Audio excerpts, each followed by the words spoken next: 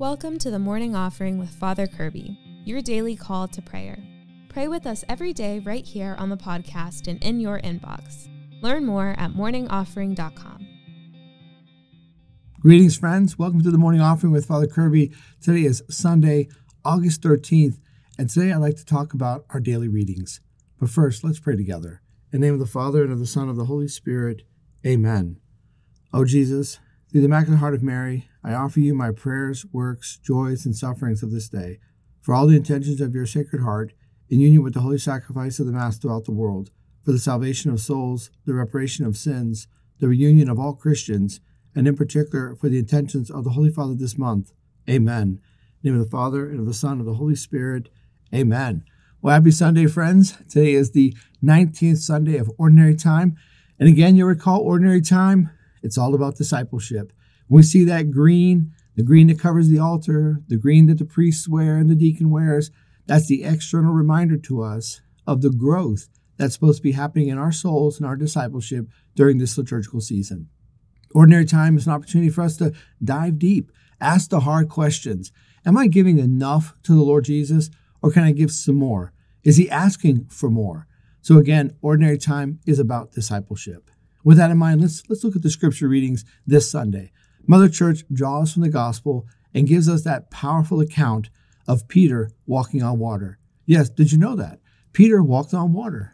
There's only two people recorded in the scriptures ever walking on water the Lord Jesus and St. Peter. But, but wait, it, does, it doesn't have a happy ending. Actually, it has a great ending.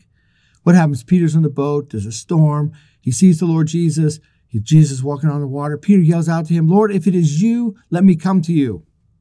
And Jesus says, Come. And St. Peter steps off the boat and begins to walk on water. The other apostles aren't doing this. They're not asking to walk on the Lord, to come to the Lord. They're not asking to walk on water. The Lord says, Come. And St. Peter begins to walk on water. But then what happens? You see, when St. Peter was looking at the Lord Jesus, everything was going well.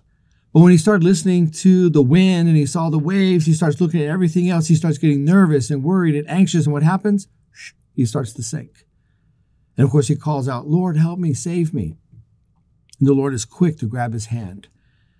When we look at Jesus, dear friends, the winds and the waves, the turbulence, it's still going to be there, but we won't sink.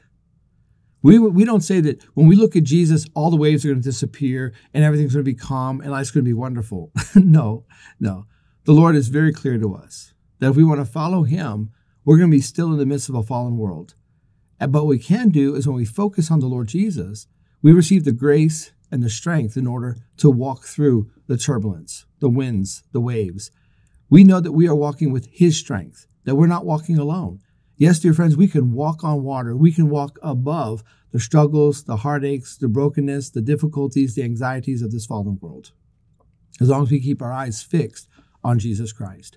When we start looking at everything else, oh no, this, oh no, that, oh no, this, this, sink, sink, sink, sink, sink. We don't have to sink. We can just stay focused on Jesus, and we will have everything we need in order to walk above, to be above the fallenness of this world. So today, dear friends, focus on the Lord Jesus. Look at the Lord Jesus who loves us and is calling us to himself, the Lord who has power over the winds, the waves, the turbulence of this fallen world. Stay focused on Jesus. Those are our thoughts for today, dear friends. I want to thank you for joining me. I encourage you keep fighting a good fight.